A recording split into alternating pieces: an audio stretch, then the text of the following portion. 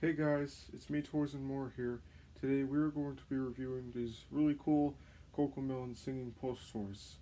I think they're cool because they're like the other plush set that I own, and even though JJ's not my favorite character in CoComelon, he's my least favorite of these three because he's a baby and I usually like kids more than babies because they're more cool to me. But I do like this one in the set the most only because they made him the most accurate to the character while the other two are like more bootlegish looking than you might think. But this is the voice box that JJ has right here.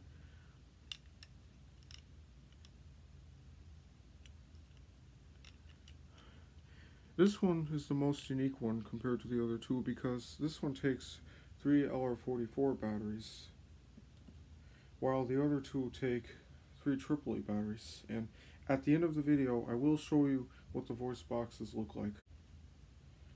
But yeah, um, we're going to look at JJ first because he's the main character and most popular one.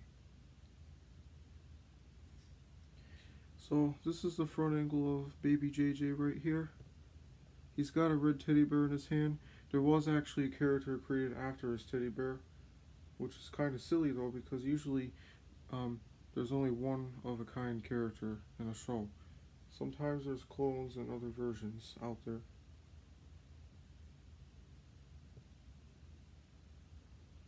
He's um only got one thing, like only this on one side of the tag, while most things don't have other angles.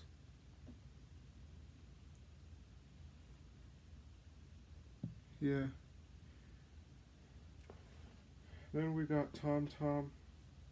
Tom Tom's my favorite character in the show because he's a cool boy. He's like Bob the Builder, as I said in the other review showing the non-talking toys they include the parents.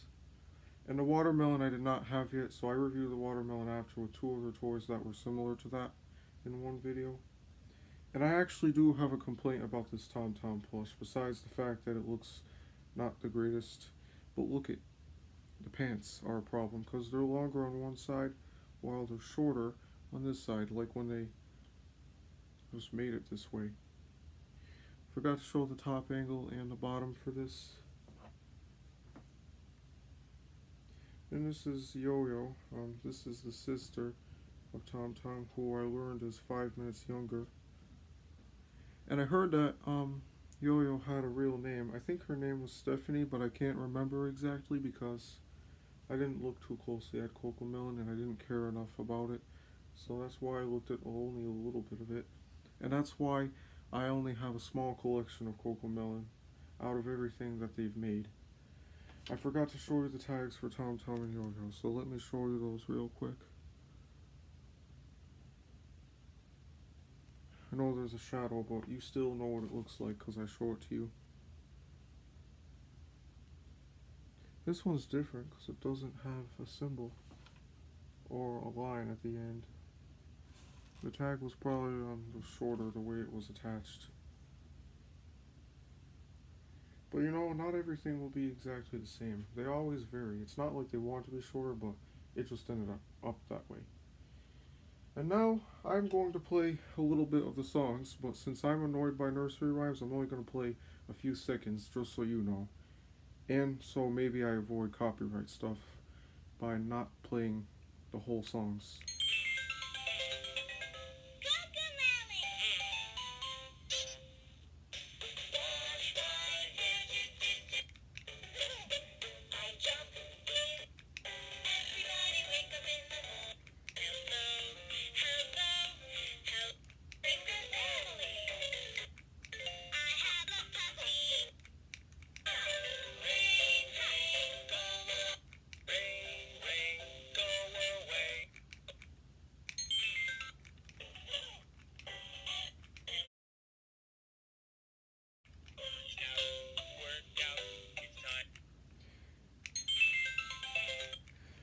You know, I'm actually going to say one thing, even though I'm not going to play them because I already took their batteries out, but but what I will say is this one's also different from the other two because this one plays the, the CoComelon bumper sound, like, you know, the beginning thing.